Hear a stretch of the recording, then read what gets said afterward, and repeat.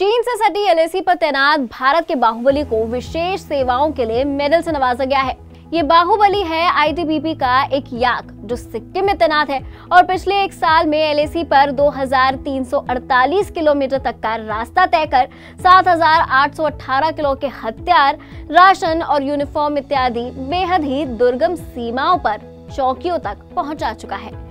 Indo Tibet border पर police यानी ITBP का एक वरिष्ठ अधिकारी है, जिसने एबीपी न्यूज़ को बताया कि सिक्किम में एक याग बाहुबली के नाम से जाना जाता है, क्योंकि ये याग लोड उठाने में माहिर है। बाहुबली याक के अलावा लद्दाख में तैनात मधु नाम की एक पोनी को भी मेडल डिस्क से सम्मानित किया गया है। चीन से सटी लाइन ऑफ़ एक्चुअल कंट्रोल यानी एलएसी पर तैनात मधु अब तक कई सौ किलो का भार बॉर्डर एरिया में पहुँचा चुकी है। चीन से सटी एलएसी पर आईटीबीपी के बॉर्डर आउट पोस्ट यानी सीमा चौकिया, सोलह अठारह हज़ार फीट की ऊंचाई पर है।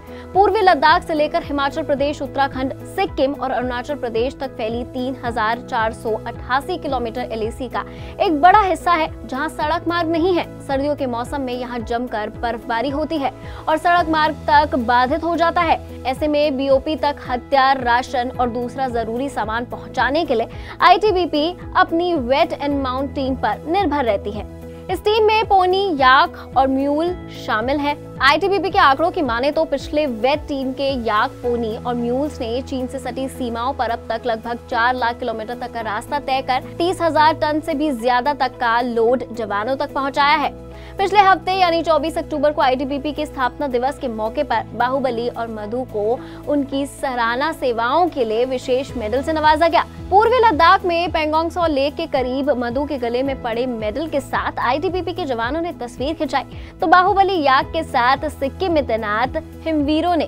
फ़िलहाल इस वीडियो में इतना ही। आप बाहुबली और मधु के बारे में क्या कहना चाहते हैं, हमारे साथ कमेंट सेक्शन में शेयर कीजिए। वीडियो अच्छा लगा हो इन्फॉर्मेटिव लगा हो तो वीडियो को लाइक करें शेयर करें।